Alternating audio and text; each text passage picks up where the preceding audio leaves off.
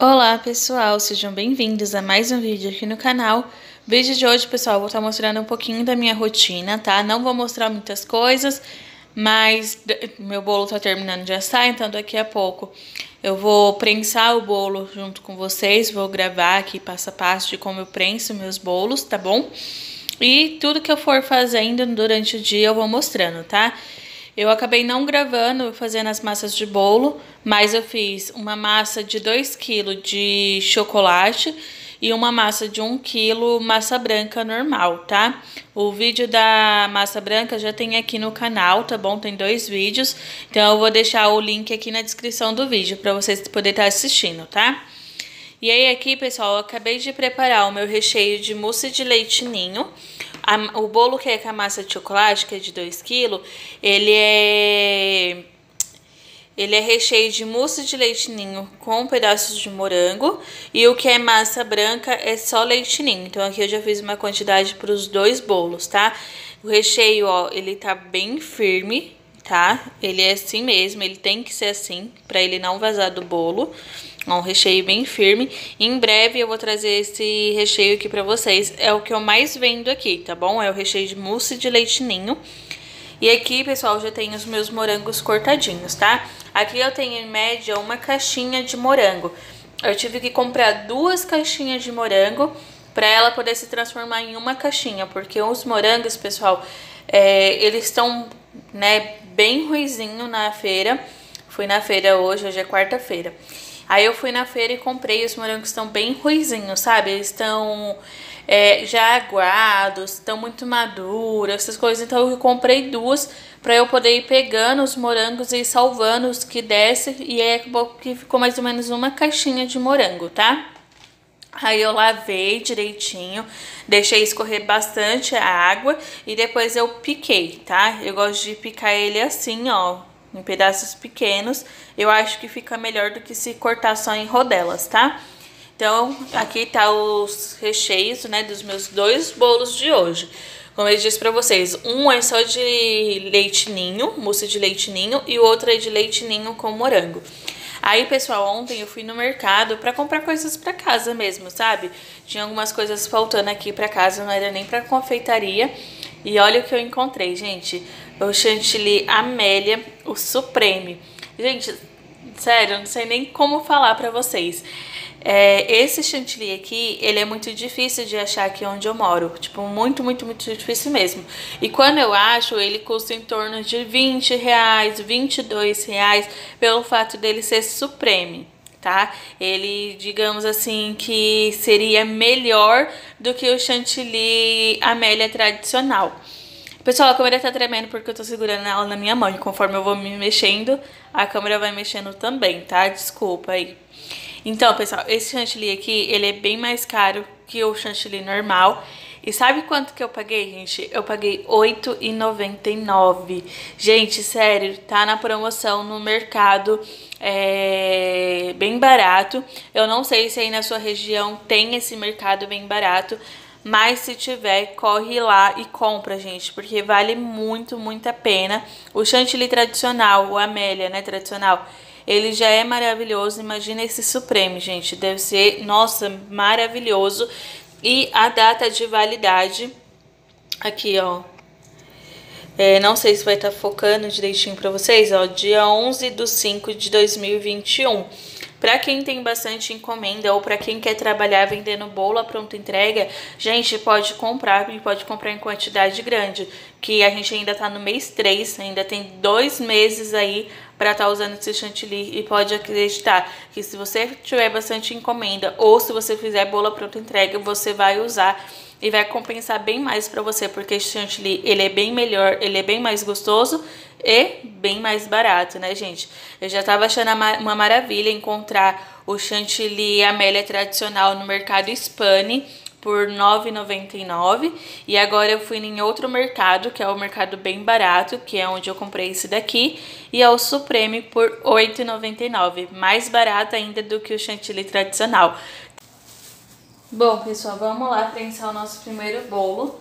Aqui eu já tô colocando a minha luva, tá? E aqui Eu coloquei uma, pessoal, eu deixei a outra pra poder ligar a câmera, senão ela não liga, tá? Essa luva que ela escorrega aqui só. Aqui, ó, já coloquei o meu plastiquinho na própria assadeira que eu assei meu bolo. Eu coloquei um plastiquinho, esse aqui é o plastiquinho que, é esse que a gente usa pra congelar alimento. E coloquei um disco da minha massa. É, para quem não sabe, para quem me acompanha aqui no canal já sabe, mas para quem não me acompanha, eu vou falar novamente. É, quando é bolo de 1 um quilo, eu faço bolo menor e mais alto. Então o bolo vai com duas camadas de massa e três camadas. Não, vai com duas camadas de recheio e três camadas de massa. A partir de 2 quilos eu já faço um bolo maior. E aí, por ele ser maior, ele é um pouquinho mais baixo. Então vai uma camada de recheio e duas de massa, tá? Então aqui eu já tô com um disco de massa e aí agora eu vou molhar. Eu vou estar tá usando aqui, ó, uma mistura de água, é, uma calda de água com açúcar. É uma calda bem simples, bem básica, eu gosto bastante de usar ela porque não corre risco de azedar o bolo. Quando a gente usa leite, é, só leite ou mistura de água com leite condensado, tem uma possibilidade a mais aí de estragar o nosso bolo, tá? Porque o leite azeda. Então, eu gosto bastante de usar essa calda, né? Faz pouco tempo, faz pouco tempo não, gente, já faz um tempinho, na verdade, que eu tô usando ela e tô gostando bastante, então eu já meio que me acostumei, tá? Então, vou começar aqui a molhar o meu bolo. Eu molho bem tanto as laterais, tá? Como o meio do meu, do meu bolo. Eu molho bem, tá, pessoal? Meus clientes aqui gostam de bolo bem molhadinho, tá? Só que não significa que o bolo é molhadinho, que ele tem que ser encharcado, tá? Ele tem que ser molhadinho, não é encharcado, tá? Tem muita gente que erra e molha demais que chega a vazar do bolo depois, tá? Então tomem cuidado com isso. Então aqui eu tenho esse bolo aqui, ele vai ser recheio de mousse de leite ninho com morango, tá? Então aqui eu já tinha mostrado pra vocês o recheio de mousse de leite ninho.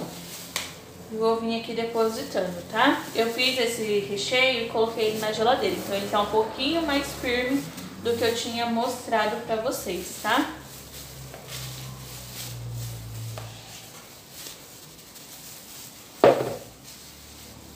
Aí, ó, com as costas da colher, eu vou espalhando o meu recheio, tá?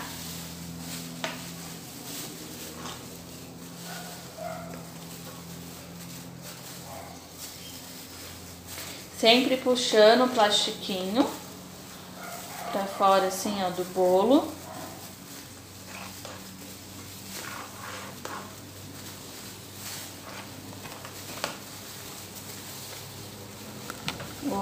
Bati meu braço aqui, pessoal.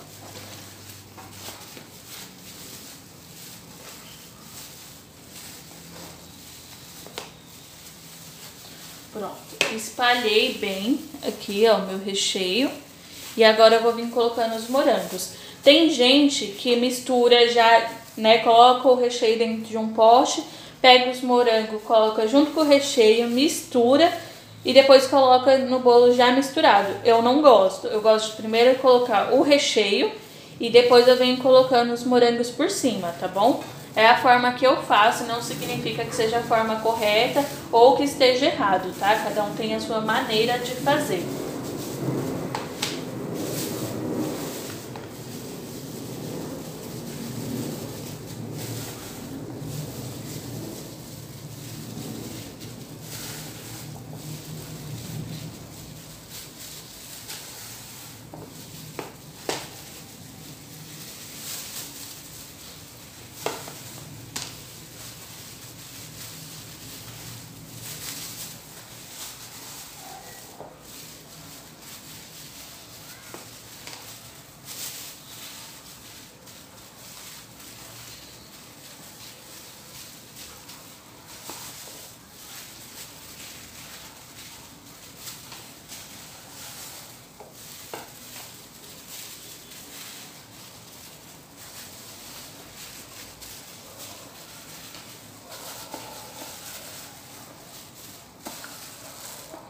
Ó, como eu tinha falado no começo do vídeo, aqui tem em média é, uma caixinha de morango, tá? Uma caixinha e um pouquinho, eu acho, tá?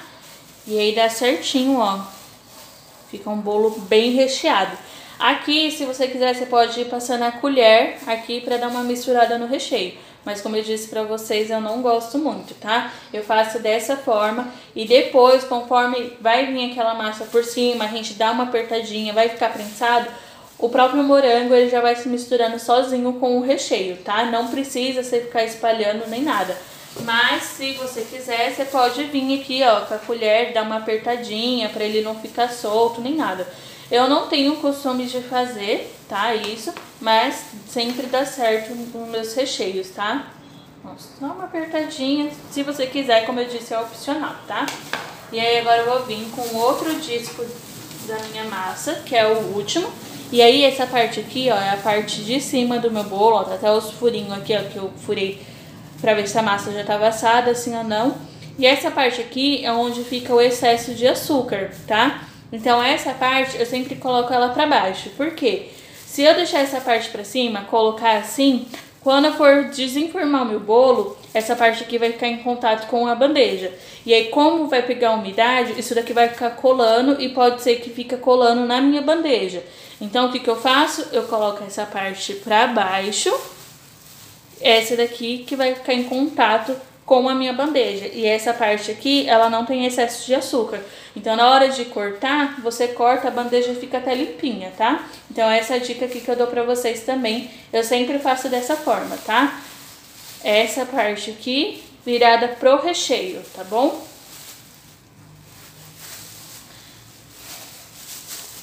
Ó, sempre vai puxando o plastiquinho. Se você tiver um plastiquinho maior, você pode colocar, tá?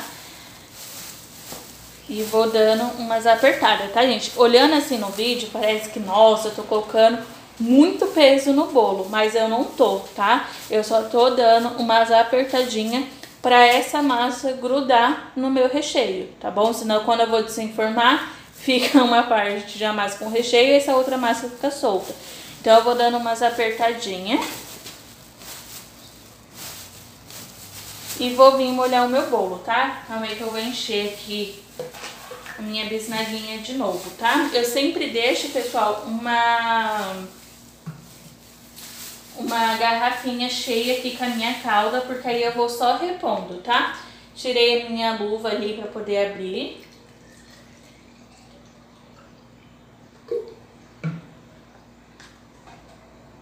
Ó, enchi aqui de novo. Tô sem luva, tá? Mas eu não vou encostar de novo no meu bolo. E aí eu venho molhando, tá?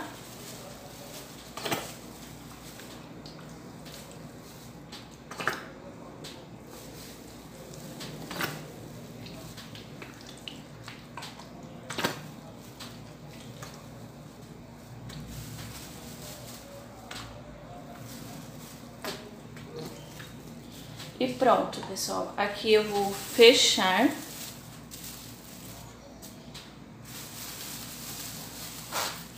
Com o moranguinho aqui pra fora, gente. Vou colocar minha luva aqui. Colocar um outro par de luva.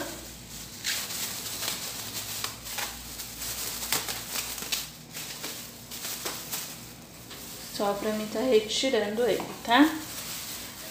Aqui, pessoal, eu vou cortar um outro plastiquinho e vou colocar por cima pra tampar aqui, tá? Essa parte aqui de cima, ela tem que estar toda coberta, senão ela vai, vai endurecendo por causa da friagem da geladeira, tá? E aí esse bolo aqui, gente, eu recomendo que ele fica prensado no mínimo duas horas, tá?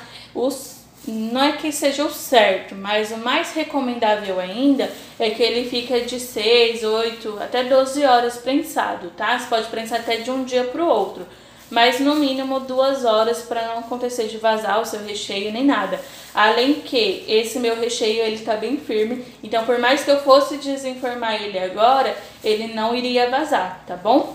Então eu vou aqui guardar, eu vou colocar o plástico e vou guardar ele na geladeira, tá? E aí eu vou limpar aqui as coisas de novo, vou prensar o outro bolo. Só que aí o outro bolo eu vou prensar e não vou conversar com vocês, porque aí quando eu for editar eu vou acelerar o vídeo, porque é o mesmo processo, tá bom? A única diferença é que vai ser só o recheio de mousse de leite ninho, não vai ter os morangos, mas o processo de prensagem é o mesmo, tá bom?